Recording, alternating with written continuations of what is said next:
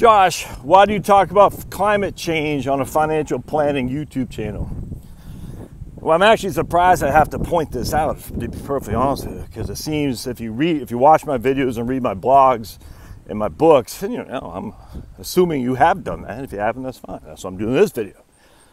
You'll see I have one, I maintain one idea throughout that you don't need to be as fearful as what we've been led to believe. You don't the fear mongering approach needs to be destroyed. And I'm not saying once and for all, because there are times when it makes sense to be fear. And that's why you have some gold, that's why I have some cash, because there is a reason to be fearful sometimes for sure. But how you act regarding that fear, in terms of what risk you take to hedge against that fear, well, this is where I think financial planners screw this up royally, and certainly the financial media. Because what they do is they'll say, you can't retire because of these sequence of return risks and stuff like that. That's just that's just silly on its face. Sequence of return risk did not stop people from retiring if they had taken necessary precautionary measures, i.e., the barbell approach. But the other thing is you can't retire unless you have 1.7 million dollars. Well, that see that's two different two different things. It's both the same premise. You can't retire because of but one premise is actually you can actually uh, deal with that risk quite simply, just through some good old fashioned diversification. The other one, diversification, you can't deal with it because it's a fundamental discussion that says you can't retire because you don't have enough money. And so then people stay in their crappy old jobs, biding their time, miserable, miserable, getting worse and worse shape physically. They think they're getting better shape financially but they're not going to be better shape financially because at the end of the day, retirement is contingent on your personal health.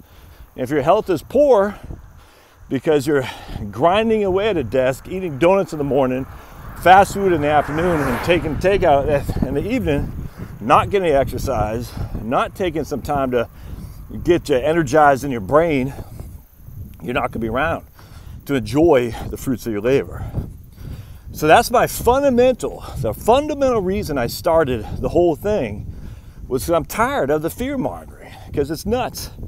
Fear mongering relative to sequence of return risk can be dealt with easily.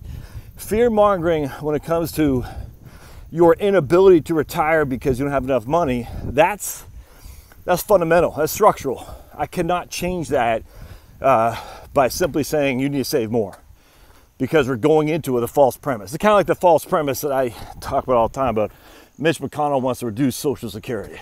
I mean, if you're on the side of the right, you can't even grant that premise because it's so stupid. It's dumb. Mitch McConnell, that's just as dumb. So I don't even want to debate that because on its face, it's stupid. So to grant that premise to say Mitch McConnell doesn't want to reduce Social Security, let me show you why, you've already lost the argument.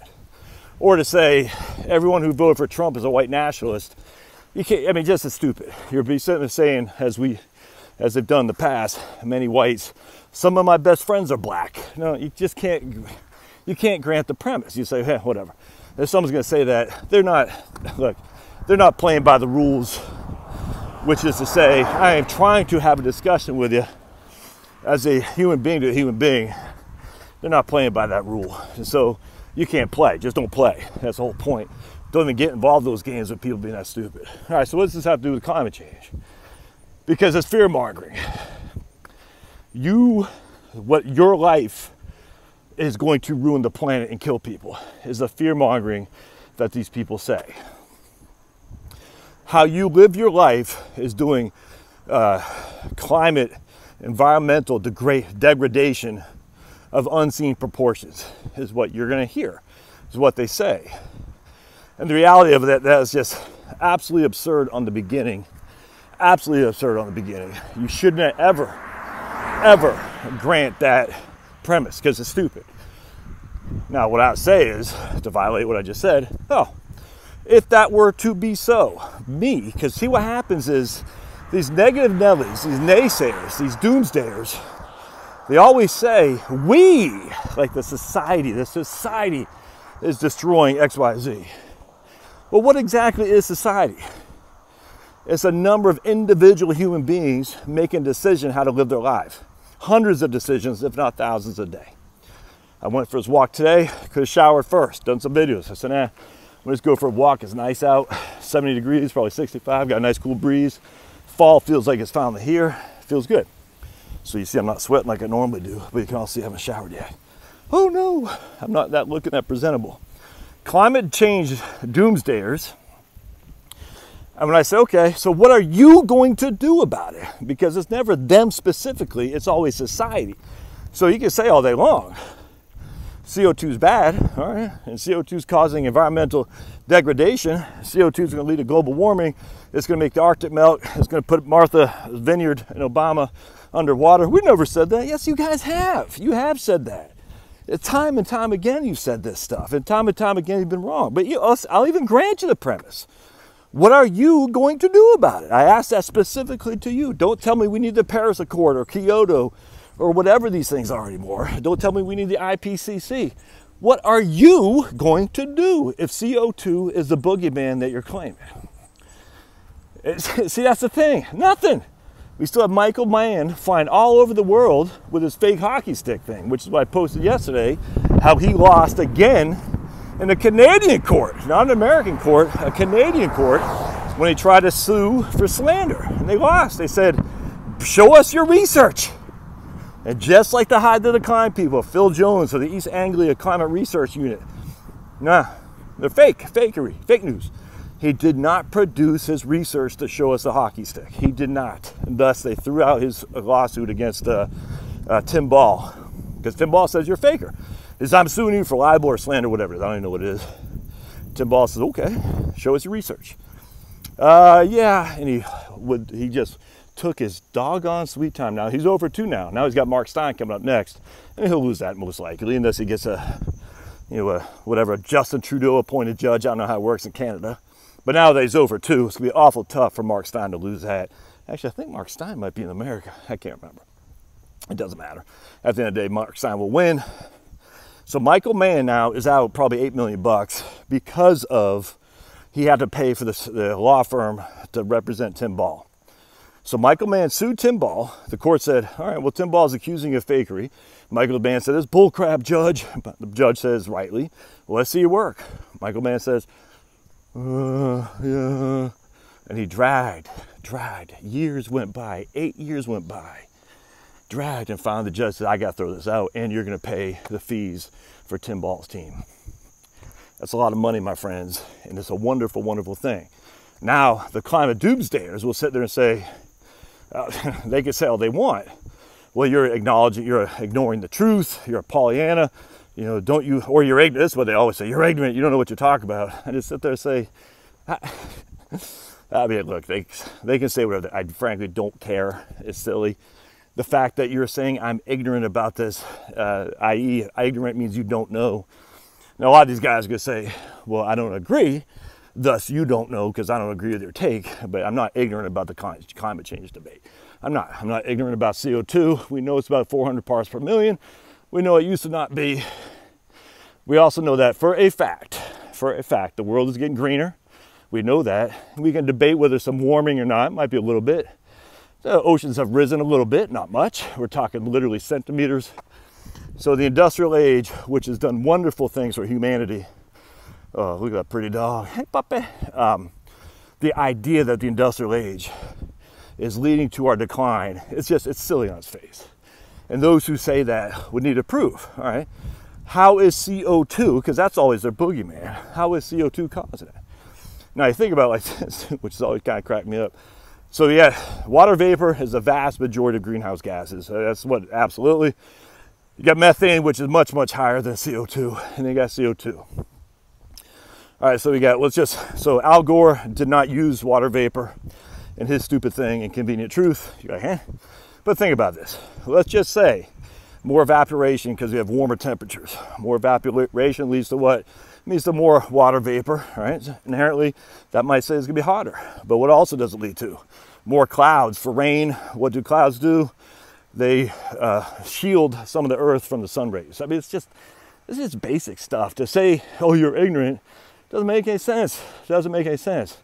And then we got to sit there and say, is CO2 carbon dioxide the cause of this? And let's just say it is. say it's the cause of global warming. We can argue, and I think is right, we can say, is NASA and NOAA and with the other one, Boulder, are they absolutely giving us a fair shake on their global temperatures? The answer is no. We know that for a fact. You just look at Argentina, Buenos Aires, they got three main temperatures, thermometers. Two are in the rural areas, one is in right downtown in the uh, sitting on some asphalt. The one sitting on asphalt is so much higher than the two in the rural areas that they homogenize it, and the one in the asphalt brings the two other up, and it makes it look like the temperature's gone up. But it has it for the rural ones. It only has for the homogenized one. But because it's so much higher than the other ones, because it's literally sitting on asphalt, uh, brings the other twos up. You can look, man. But again, I'm ignorant of this. It's just silly. It's a, I'm embarrassed for people who say that. Man, you might be able to state your argument. Some guy said you're naive. Well, I'm not naive. Just because I don't agree with you doesn't make me naive, and it certainly doesn't make me ignorant. It's just, it's, I mean, just stop with that. The whole appeal to authority thing, oh, it just drives me up the wall. I'm listening right now to a podcast but LTCM, Long Term Capital Management, uh, and they had uh, almost taken down the market. Some uh, you know, highly prize fighting economists, Nobel Prize, and all this stuff, uh, doing their derivative trading in 1998. I remember this too and when Russia devalued their currency, uh, LTCM, which was highly leveraged, 30 to 1, they, they went kaput, zero, because they did not have the funds uh, to make good on their debts because they're so highly leveraged. And that's where leverage can hurt you. And uh, funny, some of the, the, the people who are defending LTCM said they could have never predicted Russia devaluing. It's like, yeah, you think? You're. your algorithms and your trade theory and your capital asset pricing management, uh CAPM, your Black Scholes investment options structure, all that stuff, it's all academic, but human beings are not academic. Human beings make decisions every single day that affects everything. And so to sit there and say, well, they couldn't have predicted that, yeah, no S Sherlock, they couldn't have, which is why their whole algorithm is silly to begin with because in a vacuum, it works like a charm. We don't live in vacuums. Same thing with CO2. In a vacuum, you could probably make a case that CO2 could be leading to greenhouse gases, or not greenhouse gases, but global warming temperatures. But we don't have that, do we? Why? Because there's so many other strings that got to be pulled. But even if, even if it did, even if it did, then you got to make the argument: is that a bad thing? All right. So let's just say have some global warming. Is that a bad thing? because we know we have a greener country, a world right now for sure. Uh, more moisture, actually. What does more moisture do? Does it lead to hotter temperatures and droughts or lower temperatures uh, and less droughts? And you can even say maybe some flooding. Well, at least the lower temperatures. If we look historically, the droughts are what is led by high temperatures.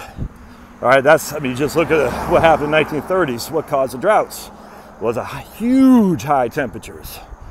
And you, again, you might not want to uh, hear this. You might say, oh, that's ignorance, naivety, or, or what is the other one? You're a flat earther. But it still stands to reason that you have to say, huh, maybe I'm the one who's not listening to the other side. I'm the one being you. But even that goes back down.